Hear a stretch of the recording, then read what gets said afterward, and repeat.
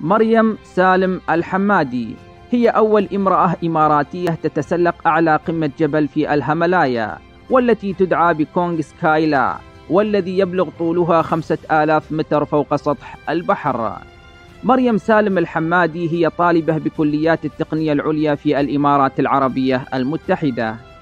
استغرقت الرحلة ثلاثة أسابيع تحت شعار من رمال صحراء ليوا إلى صحراء القطب الجنوبي الثلجية. انطلقت من مطار دبي في السابع من آذار مارس عام 2014 إلى الأرجنتين بمشاركة 88 مغامرا ومغامرة من 27 جنسية مختلفة. انطلقت الساعة الثامنة صباحا واستمرت حتى الخامسة مساء.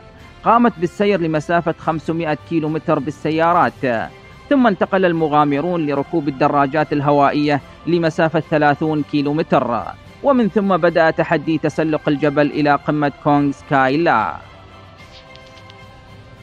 وفي الختام لكم مني أطيب الأمنيات والسلام عليكم ورحمة الله تعالى وبركاته.